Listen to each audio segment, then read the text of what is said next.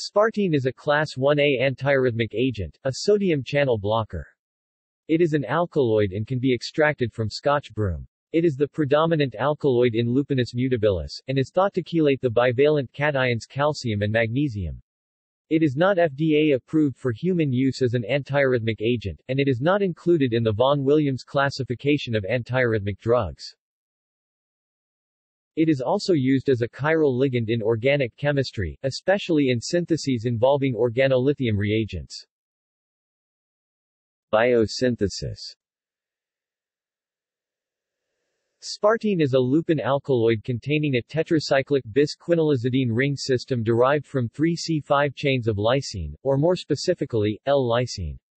The first intermediate in the biosynthesis is cadaverine, the decarboxylation product of lysine catalyzed by the enzyme lysine decarboxylase LDC. Three units of cadaverine are used to form the quinolizidine skeleton. The mechanism of formation has been studied enzymatically, as well as with tracer experiments, but the exact route of synthesis still remains unclear. Tracer studies using 13C15N doubly labeled cadaverine have shown three units of cadaverine are incorporated into sparteine and two of the CN bonds from two of the cadaverine units remain intact. The observations have also been confirmed using two HNMR labeling experiments. Enzymatic evidence then showed that the three molecules of cadaverine are transformed to the quinolizidine ring via enzyme-bound intermediates, without the generation of any free intermediates. Originally, it was thought that conversion of cadaverine to the corresponding aldehyde, 5-aminopentanal, was catalyzed by the enzyme diamine oxidase. The aldehyde then spontaneously converts to the corresponding Schiff base, delta-1 piperidine. Coupling of two molecules occurs between the two tautomers of delta-1 piperidine in an aldol-type reaction. The imine is then hydrolyzed to the corresponding aldehyde, amine. The primary amine is then oxidized to an aldehyde followed by formation of the imine to yield the quinolizidine ring.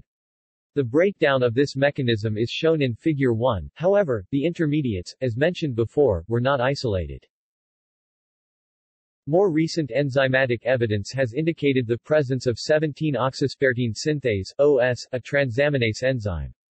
The deaminated cadaverine is not released from the enzyme, thus it can be assumed that the enzyme catalyzes the formation of the quinolizidine skeleton in a channeled fashion. Figure 2, 7-oxosparteine requires 4 units of pyruvate as the NH2 acceptors and produces 4 molecules of alanine. Figure 3, both lysine decarboxylase and the quinolizidine skeleton forming enzyme are localized in chloroplasts. See also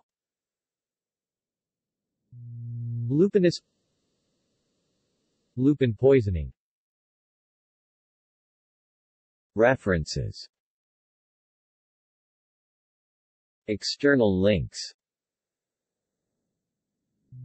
Media related to Sparteine at Wikimedia Commons